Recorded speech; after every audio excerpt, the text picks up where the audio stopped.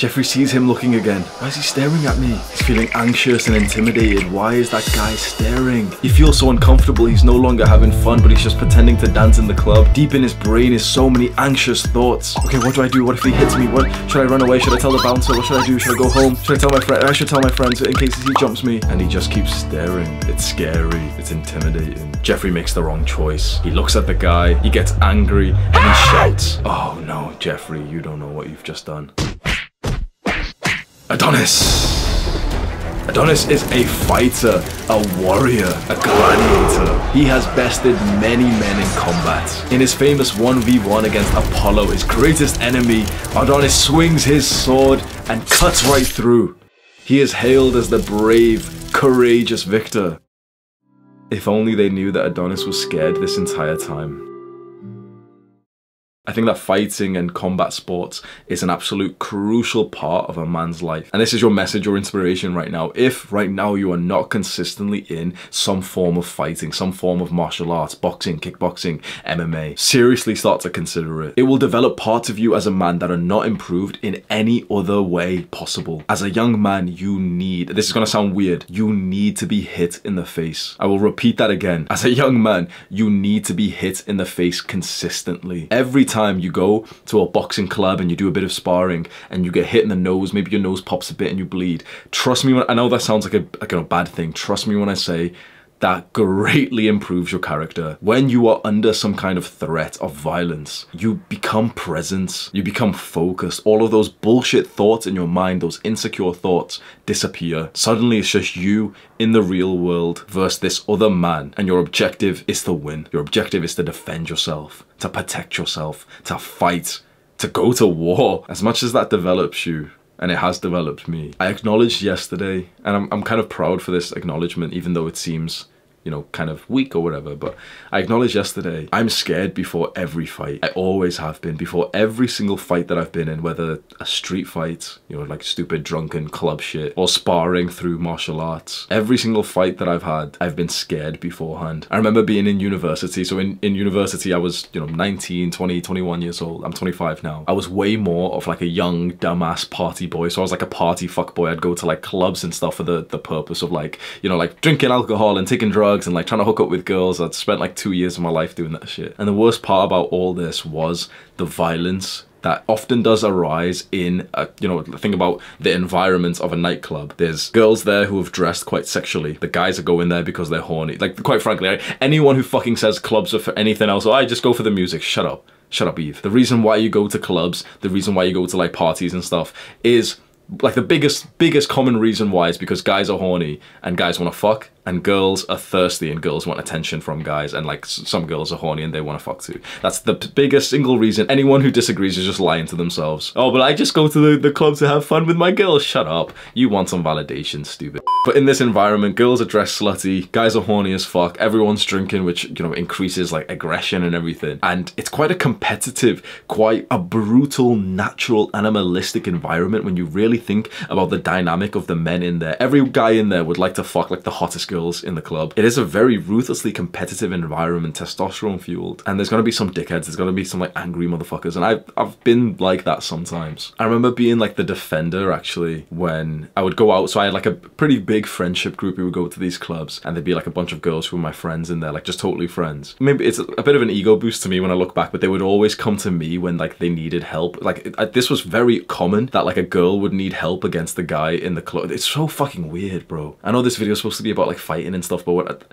the club scene, like the party scene, so fucking weird because this would happen extremely often where the girl would be like very uncomfortable because a guy was literally touching her or following her or just wouldn't take the message that like she didn't want to speak to him. I don't like to throw the words like harassment and everything, but like probably it does suit the definition. It's like, yeah, he was kind of harassing her. And this would happen to like girls like pretty much every time they'd go out. And I know we're not supposed to, you know, victim blame, but I just think back to those girls. I'd be like, what's wrong with you? Obviously the guy's the problem, but like, what's wrong with you? Like what, what goes on in your brain to make you crave to keep going back into that environment? And obviously like there's a lot wrong with me as well. When I think about myself, I was going out three times a week, taking fucking drugs and stuff. Like I'm not devoid of the, you know, the wrongness. I was fuck, fucked up in the head as well. But this would happen quite often, almost every single night. Like the girl would run up and say like, oh, can you get this guy off me and everything. And the guy would just be like horny as fuck, but he'd be like fucked up like social skills and drunk, so he didn't know like when to take the message and the girl's not interested and whatever. So I should have been nicer, but like maybe through ego, I wanted to like intimidate these guys. And the way that I would do it is like I'd walk up to them, square up to them and say like, nah, she's mine, bro. Like, you know, proper aggressively just say shit like, nah, she doesn't want to talk to you. And literally 99 times out of 100, the guy would get the message instantly and be like, oh, oh I'm really sorry, bro. Like this and like want to like, you know, to like, go to handshake me. And again, because of my big fat ego, I'd go one step further. He'd say, okay, oh, I'm sorry, you know, I'll, I'll go now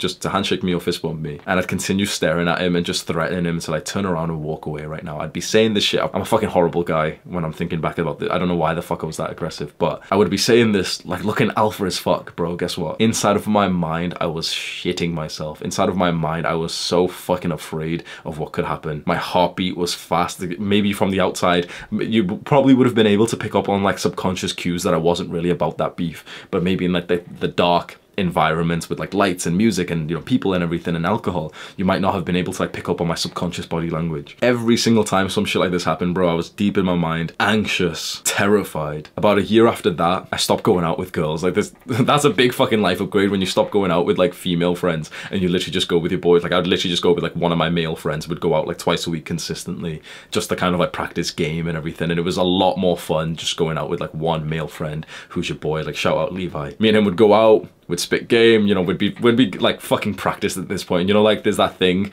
that it takes 10,000 hours to master a skill. Instead of studying for university, because we were in we were literally in university, instead of studying for our psychology degree, we studied for our master's degree in thoughtology and we got the 10,000 hours of like mastering this skill. Going out two, three times a week, speaking to girls and just getting into fucking trouble. And then I remember that related to mental health, 100% related to mental health, both mine and my friends' mental health kind of deteriorated. We were a lot more like you know it's a whole story but we were like a lot more like lonely because we used to be like really social guys living in like the central part of the city but then we moved away and we kind of like lost touch with like most of our friends and we started smoking weed every single day and started drinking more you know what I mean? So mental health was a bit fucked. And um, there was times when we'd go out and like more shit would kick off. And there was a particular night that I just want to kind of describe to you where in the club you know it's the same thing you know we're, we're dancing we're talking to girls we're kissing girls hooking up and like speaking to guys and you're just chatting random shit. And I don't don't necessarily remember what happened specifically in the club that night. Whatever happened in the club, who knows? But we eventually leave the club and we're on the way to get some like chicken or some shit. It's like 3 a.m. and my best friend's black, so obviously we're, we're gonna go get some chicken. Am I allowed to say that? So we're walking out, we're going to the takeaway, and across the street is a big, big group of guys. And like a couple of them are shirtless, and like that's usually a very fucking bad sign. If it's like, we're in the UK, so it's not warm or anything. If it's like 3 a.m., if a guy's drunk and shirtless, you know for a fact he's a fucking dickhead. You know he's a dick, especially if he's not like jacked. Because there's like, there's the jacked guy who takes his shirt off because he's got an ego, like that's me. So I like, you know, I'll take my shirt off in the rave because I've got ego and stuff, but like that doesn't necessarily mean I'm like a fucking angry person who's like stupid. Whereas there's the, like the standard. I want you to just imagine like a flabby young British man who's drunk off pints with his lads and he's taking his shirt off. I want you to just imagine his personality and his like demeanor and shit. And they were across the street just shouting, yelling, screaming. I remember like we said some shit back and one of the guys followed along with his friends, but like one of the, the, the guy at the front literally just starts walking, like charging towards us. There was a very, very large road, right? So it took him maybe 15 seconds to walk over. I was so fucking scared. I remember like literally starting to shake. My heartbeat started going fast. He got closer and closer. And I remember even bitching out. Like we, we were kind of shouting at him. He was kind of shouting at us. And when he came closer, I remember fully bitching out and almost like complimenting his physique and like I was so fucking terrified. Honestly, I was so scared. He came over, he didn't say anything. He literally just went and just hit my friend straight away. Like he pushed him with force. My friend, like, you know, just taken back. He was like frozen as well. Without thinking anything, I literally just right hook this guy straight in his fucking teeth, like in his chin. Right, like the perfect kind of right hook where like when you hit someone from the side of the chin, they twist. They literally twist like a fucking Beyblade. He just twisted, collapsed to the floor, like fucking, not, not unconscious, but like fucked, like, you know, dizzy and stuff. And because of the sake of like authenticity and stuff, bro, like we fucking kicked him and everything on the floor. Like, fuck this guy. Bro, honestly, like I'm supposed to, you know, oh, and then we, we called the police, bro, fuck that guy. He crossed the street, he chatted some shit, he, he swore, started aggressively like you know he fucking hit my friend. Bro i hit him. My friend kicked him on the floor and then his friends came over and it's fucking screaming pushing everything. Like, you know girls are just getting in the way. Ah like fucking long hair bitch and everything just drama and everything. And me and my friend just started kind of like laughing about the situation because like my friend fucking punted him. My friend got like a running kick onto the guy's ribs, bro. And he fucking deserved it. I don't care what you fucking, what you believe, bro, but that guy deserved it. You don't walk over to two random guys and then not expect to get fucking dropped on the floor. I say this, which it's interesting that you can see this energy inside of me and I'm, you know, I'm, I'm aggressive and, oh yeah, like uh, alpha male, I knocked him out and stuff, bro. I was fucking terrified. Just last night, I was in kickboxing. I do kickboxing three times a week. I was kickboxing and in every session, there's like half an hour of sparring at the end. So we wear like pads and gloves and mouth guard and stuff. And I get into the ring with this guy who was a former Royal Marine. He's bigger than me as well, like in, um, no offense to the guy, but like in a higher body fat percentage kind of way, not in like muscle way. I don't know if that was a necessary fucking detail. I've just fucking roasted the guy. No, but he was nice. He was a nice guy. Really good to spar with. But we get into the ring. Okay, it's time to like, it's a real fucking spar. Like just before this, I had done like a quick little like one shot spar. You know, it's, it's a bit of competitiveness, but it's you're not gonna get hurt in what's called like a one hit spar where you just take turns to like hit each other once. We get into the ring. The coach tells us, okay, get into the ring.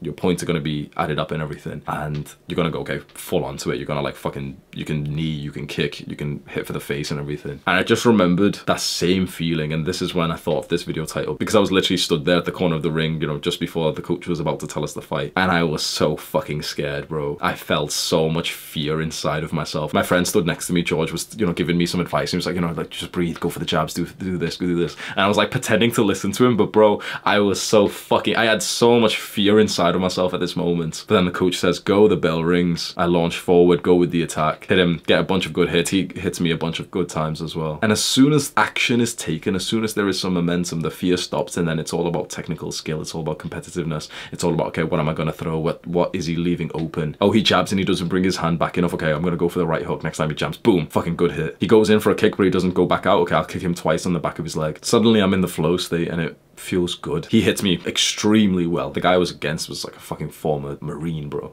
So he gets a bunch of good hits on me. A few times he jabs my nose and like my full on head, like pushes back like that. And then before I know it, the one and a half minute spar is over. Me and him fist bump each other and like, you know, thank each other for the session, the spar. The fear's gone. I feel good. Everyone's been watching, put up like a good fight and everything. Feel fantastic. And then five, ten minutes later, it's time to spar again. And exact same fear is inside of me, bro. This time we go inside of the cage. The cage is locked. It's just an extra fear thing of like you walk into the cage and like the guy behind you locks the fucking cage behind you. There's no fucking escape. You're in this tiny ass little cage. There's no escape. Just whilst we're waiting for everyone to kind of set up and start watching us, I feel that same level of fear inside of me. I'm fucking shit scared, bro. But again, coach says to start, we start, touch gloves, start hitting each other. What fighting has taught me, and I'm not a professional fighter at all, but the experience that I do have is that we can have fear, we can be scared of something, but go forward anyway. Do you know what that's called? Courage. Courage is the skill of disobeying your fear, and it is a beautifully masculine trait. So develop some courage within yourself. See this as inspiration right now to perhaps get some experience, some knowledge in some kind of like self-defense skill, or just specifically go to some kind of club, train, and just start getting into sparring. You'll have to, you know, buy the gear and then the mouth guard and stuff, and you know, there can be quite a lot of friction to start. But as soon as you started, bro, bro, you never want to give it up. I'm literally like rocking backwards and forth, excited. My next session is on Monday. I'm like so fucking excited. It's Saturday right now. And I just want it to be now. Like I literally just want to get back into the ring. I'm excited now. On Monday, I'm going to go train. So it's one hour like normal training session and then we have a half an hour sparring. As soon as the half an hour sparring comes, bro, I'm going to be scared again. But just being scared of something, seeing that there is a risk of something, does not mean that you have to freeze. It does not mean that you can't take action. It is a fantastic habit to get into, to feel fear, but then to be courageous and go forth anyway. Martial arts will do that for you and I really hope you can find like a really good club to join. Click on this video right now to learn more about street fights. Do the hard work, especially when you don't feel like it.